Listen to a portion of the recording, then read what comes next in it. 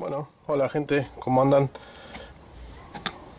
Este video va a ser una masa nueva Una masa nueva que vamos a probar ahora cuando volvamos a pescar Ahora que va a venir la boguita Ya va a empezar a venir la boga, el sábalo Bueno, la carpa está todo el año, también sirve para carpa Para boga Este, para bagre, para todo sirve Es una masa, pero mortífera ¿eh? Y no, no, no, no la vi por ningún lado todavía por eso la vamos, se la quiero compartir. ¿Qué vamos a usar? Vamos a usar acá, vamos a usar harina, vamos a eh, polenta, la más trucha, ¿eh? la más barata, la más trucha. Vamos a usar un rallador, eh, uno viejito, azúcar, agua tibia o caliente, si es caliente mejor, jugo, cualquier marca, esto es jugo de naranja, una naranja, una naranja, sí, una naranja, gelatina de naranja o si tienen gelatina sin sabor es lo mismo. Pero gelatina de naranja si es gelatina de naranja mejor. Cuchara y cuchillo. Este está todo derretido. Lo uso para así para estas cosas. Bueno y vamos a proceder a hacer la masa. Primero primero que esto vamos a usar bastantes cosas. Lo que más vamos a laburar es con el tema de la naranja las proporciones son fáciles, son 3 de, 3 de harina por 1 de polenta. Hasta ahí estamos, ¿no? ¿Estamos bien hasta ahí? Entonces vamos a hacer. Vamos a agarrar. Siempre usen la misma medida. Yo voy a poner. Vamos a poner 1. Vamos a poner. Ahí, 2 3 y más o menos tampoco tiene que estar tampoco son vamos a hacer masterchef.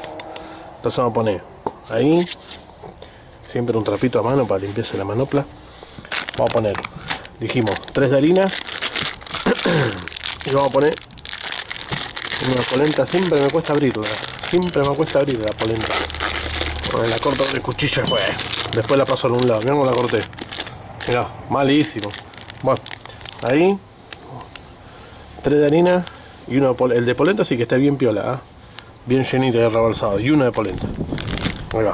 Acá tenemos esto. Primero ponemos lo seco. ¿eh? Lo vamos revolviendo. Jugo de naranja. Abrimos. Este le ponen medio. Medio jugo. ¿Le quieren poner en jugo entero? Le ponen jugo entero. Yo a esta proporción le voy a poner medio. Medio sobre la gelatina de naranja. Gelatina de naranja para esta proporción. Le tienen que poner la mitad del sobrecito. Y hasta un poquito menos también. Más o menos la mitad. La mitad del sobrecito. ¿eh? ahí va. La mitad del sobrecito. Gelatina de naranja. Ahí. Estos son todos los secos. Esto va a ser todo el seco mezclamos esto primero, obvio. Ya tiene un olor a naranja, esto es impresionante. Y todavía le falta lo mejor. Bueno, una vez que tenemos el jugo tenemos el jugo, el jugo se lo ponemos ahora. Tenemos todos los secos acá le ponemos azúcar media. De lo que usamos para poner todo de la medida que usemos le ponemos media medida media medida de azúcar. Ahí va. Ahora ahora sí. Revolvemos fíjense que, que quede bien pero bien revuelto los secos ¿eh? que queden bien revueltos. Bien esto tómense un ratito así y lo mezclan bien bien piola. Ahí va. Ahí está. Se ensucian ensucian. Se ensucian después limpian ahora qué vamos a hacer hacemos un huequín acá en el medio miren esto hacemos un huequito agarramos la naranja y el rallador y le damos masa ¿Eh? ahí está pasando un avión ¿Eh?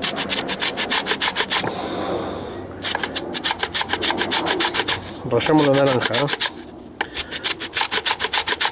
también es complicado para allá esto, che. Bueno.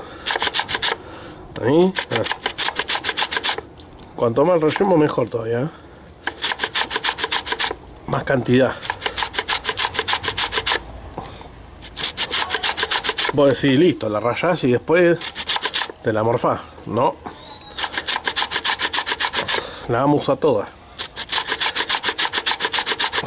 Capaz que les están viendo que tiembla la cámara, pero bueno, es porque tengo la cámara en la cabeza. ¿eh? Bueno. Una vez que rayamos toda la naranja, ¿ven? Rayamos la naranja. Sacamos lo que queda adentro. Para no desperdiciar nada. Acá.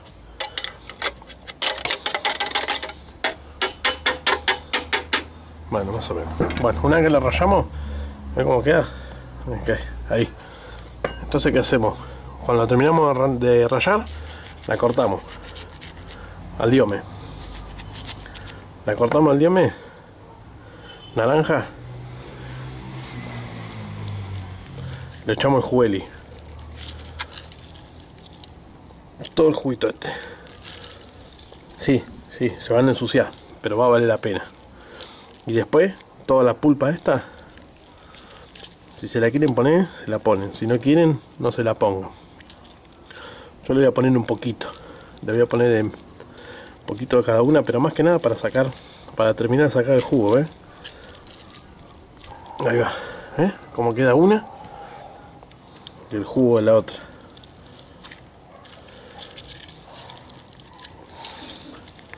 Ahí.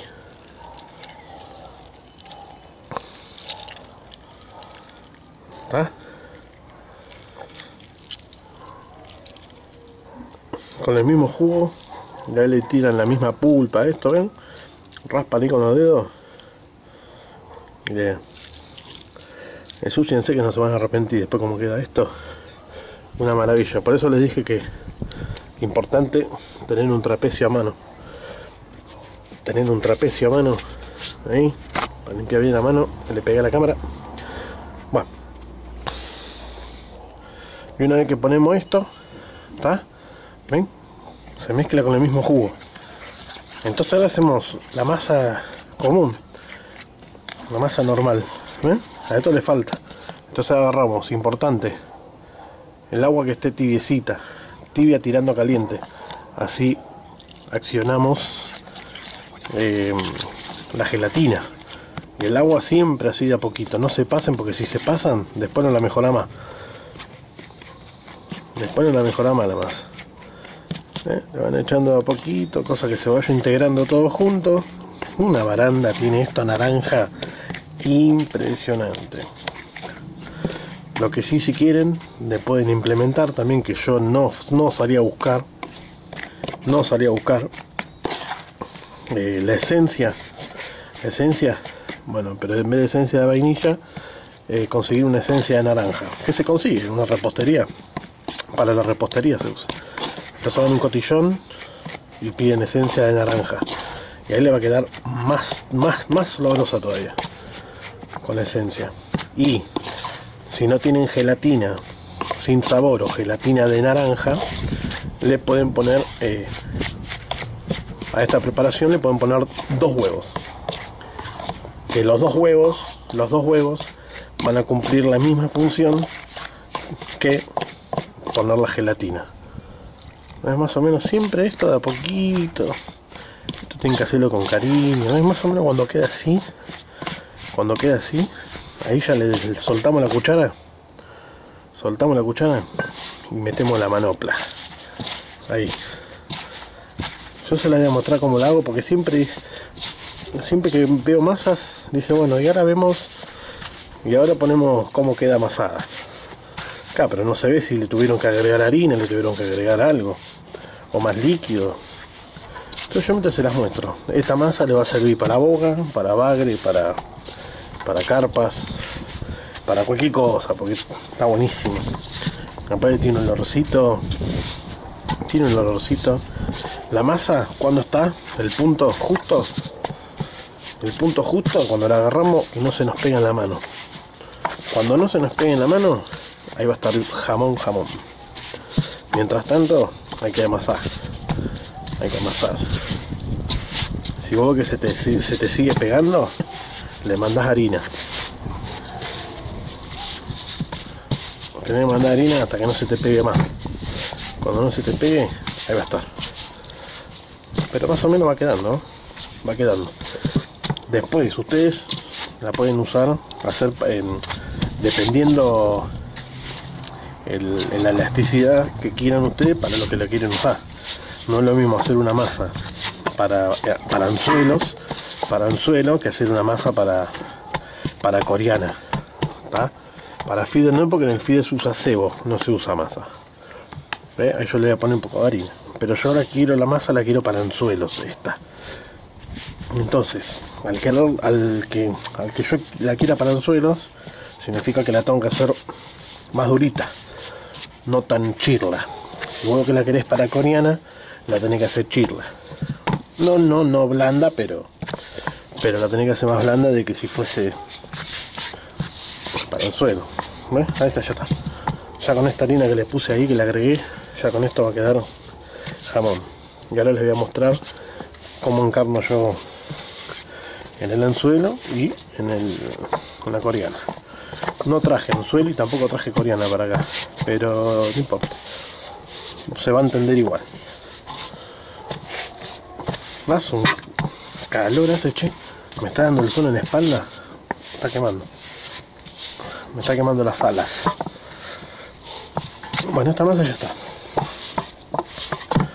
Esta masa ya está.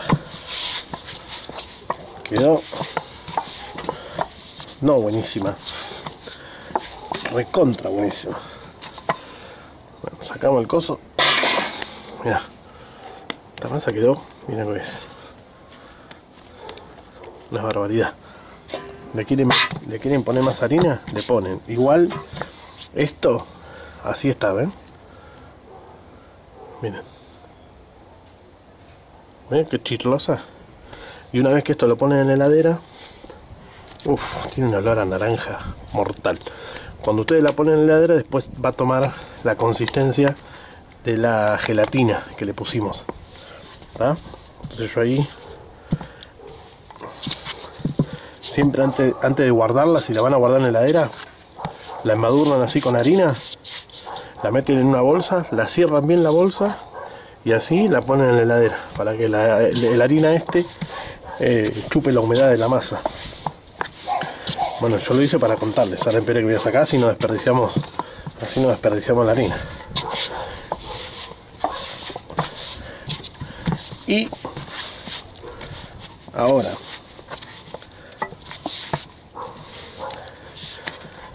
ahora ahí va. Tac para el suelo para el suelo vos pones la masa vamos a suponer que la punta este es el anzuelo. Aplastás, apoyás el anzuelo cerrás de un lado, cerrás del otro y amasás. Y ahí. Que cura, que cura así. Así es para el anzuelo ¿eh? que cura que cura bien el anzuelo. Y después para coreana cuando ustedes agarran un pedazo más grande como para masa para una trampa coreana una vez que tengo la masa así vamos ahí ¿eh? Ponen que el dedo, el dedo gordo es mi coreana, pongo la coreana ahí y encierro. Encierro el resorte. Una vez que yo encierro el resorte, a la coreana, a la masa, cuando está forrando la coreana, sí o sí le tienen que hacer así y en la parte de abajo pegarle. Y le dan esta forma, siempre, así. Así. Yo lo enseñé en un par de videos hace hace, hace casi siempre. Siempre lo muestro. Pero bueno, nunca está de más este, refrescar la memoria. Entonces cuando tiene la corriente tiene que quedar así en forma de cono. Para cuando caiga, cuando caiga el agua, ¿ves? cae y queda así parada. Y acá clavamos los anzuelos. Siempre con el, con el pinche para afuera. Si la masa vos la tirás y le das una forma redonda, como generalmente veo que ponen, esto abajo del agua va a ser así se va a correr para acá, se va a correr para allá y se te va a salir el, al toque se te va a salir bueno, ahí está la, masita la masita, la nueva masa del, de naranja. Espero que les haya gustado. Y bueno, compartanla, compartanla porque va a estar muy buena. ¿eh? Esta va a dar mucho fruto ahora cuando arranque la boga. ¿eh? Estamos fines de, de julio, ya mañana es agosto. Así que ya calculo que cuando volvamos a pescar, no se sabe cuándo, pero cuando volvamos calculo que ya van a estar las boguitas. Así que esta masa, así como está, bolsita con harina y al freezer. Cuando la sacan para llevársela a pescar, les recomiendo que se lleven un poquito de harina. Así cuando llegan al lugar, este, le ponen harina que endurezca. No sé si se puede ver, pero ven los pedacitos de cáscara. ¿Eh? Esto cuando esté abajo del agua, estos pedacitos se van a desprender.